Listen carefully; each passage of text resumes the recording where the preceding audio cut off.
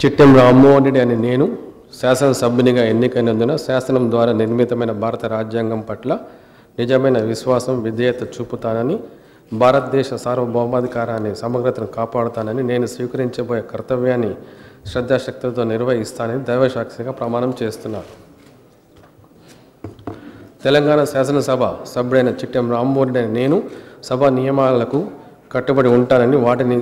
అనుసరిస్తానని శవ మర్యాదలను పాటిస్తానని సాంప్రదాయాలను గౌరవిస్తానని దైవసాక్షిగా ప్రమాణం చేస్తున్నారు.